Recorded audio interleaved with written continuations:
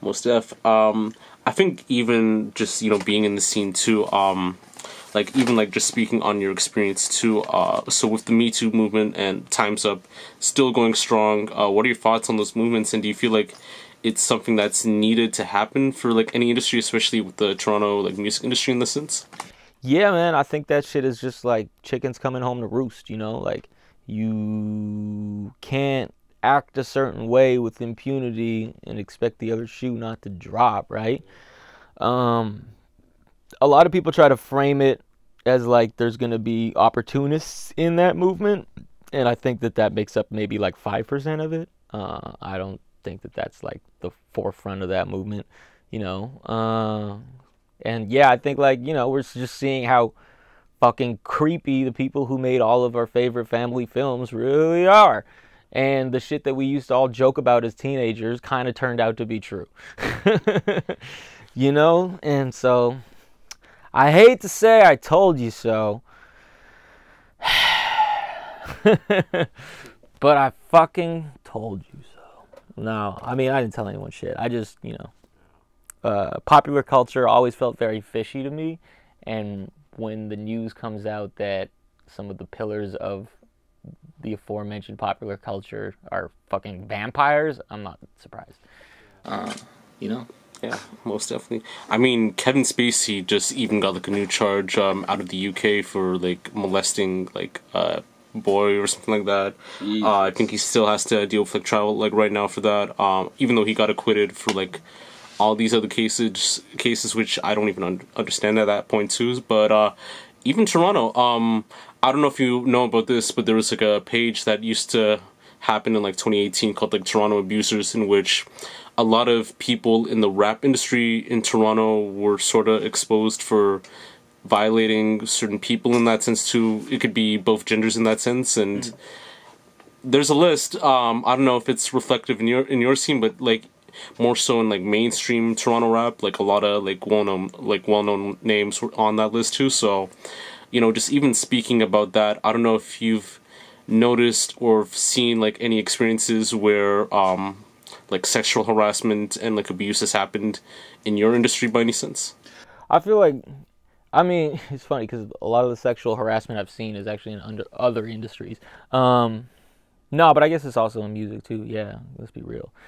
Um, a lot to answer there. I feel like uh, definitely there's been some stuff that I've noticed coming up. Uh, I feel like, you know, certain things are like clear lines in sand and other things you sort of learn as you go along um, in terms of like that's not right you can't talk to people that way you can't make those kinds of jokes shit like that you know uh, the hope is that we all kind of refine our moral compass in a way that helps everybody thrive right that's that's the goal so yeah we want to put a stop to people doing fucked up shit that hurts other people and takes time away from your life where you have to recover from the thing that someone else did. Uh, life is short. Let's not waste each other's time.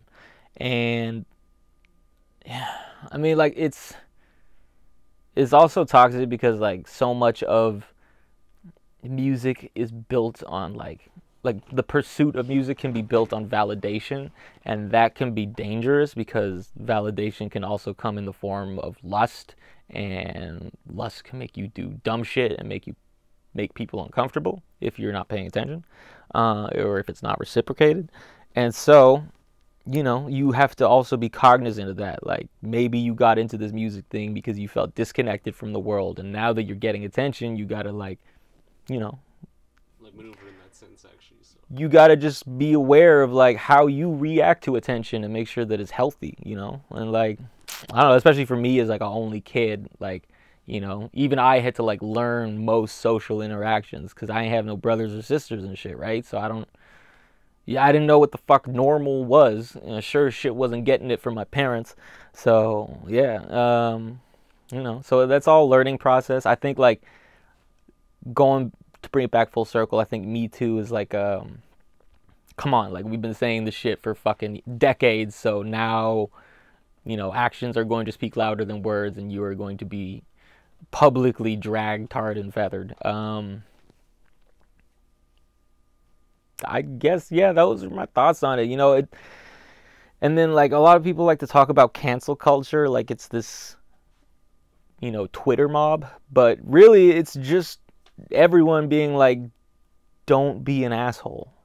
Like, stop being an asshole. Like, it was cool to be an asshole in the 80s, but it's not the 80s. And fuck the 80s also. Like, fuck the 80s. So, we're doing shit differently. It's no longer the 80s. If you act like it's the 80s, you're gonna get canceled. That's what it is. That's what I wasn't even around for the 80s, but like, you know, I don't know. Am I onto something here? Does this shit sound crazy? I mean, you made sense in that in that point too. I do feel like change has to happen, and I do feel like we can't, you know, go into like an old position that we've done so many years. You know, with the old norms and old practices that we used to do, like with the whole like boys we boys like type of effect you know like i do feel like we have to like look into other groups and like how they're affected in that sense too and I do feel like change starts with you know understanding like what band what boundaries are like what are certain people's um, norms and like what's acceptable versus like what's unacceptable. What's a safe word versus like what's not so safe in that sense too. Body language too like a lot of important points too in that sense.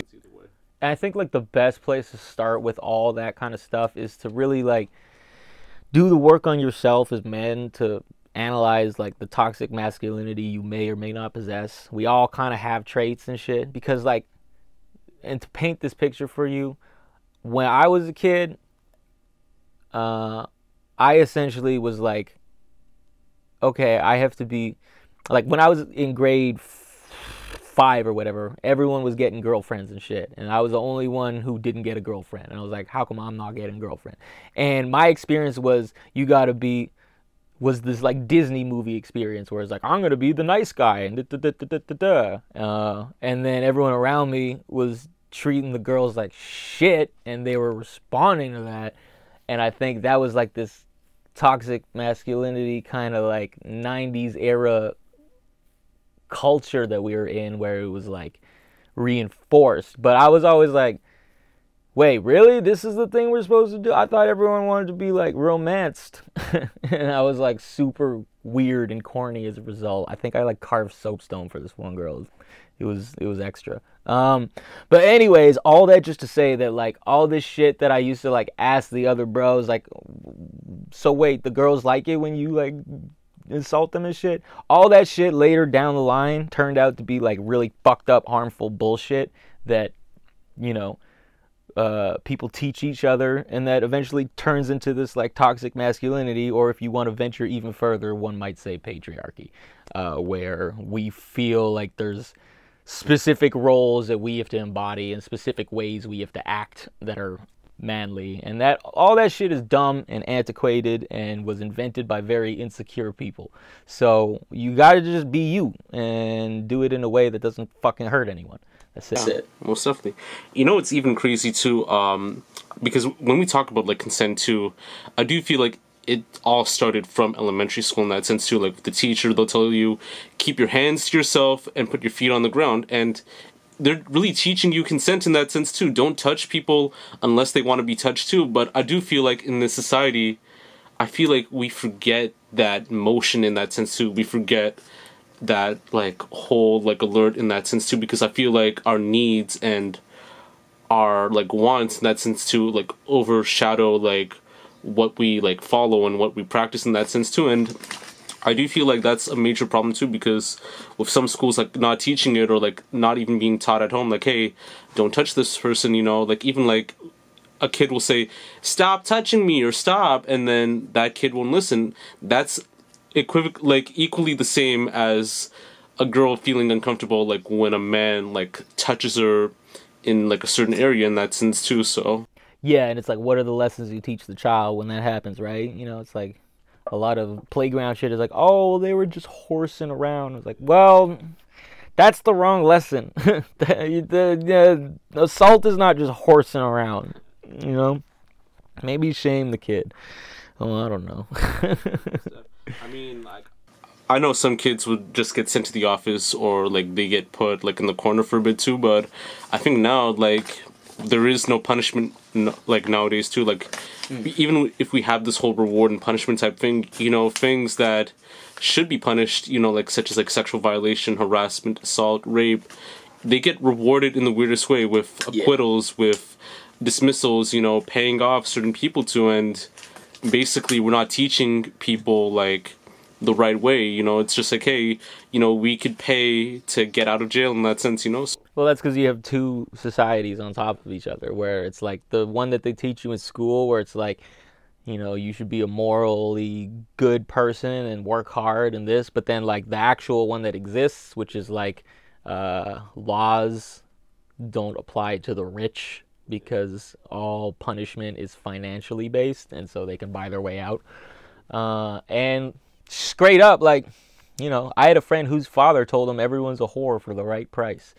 What the fuck do you think that does to a kid? You know, he's an accountant now, so voila, you know, uh, we are what our parents teach us, and a lot of people haven't been given the right kind of skill sets to be parents and you know it like just always comes back to like it takes a village to raise a child right and most of the time i just see two very overworked, tired people raising a child, and that's not going to be a recipe for success.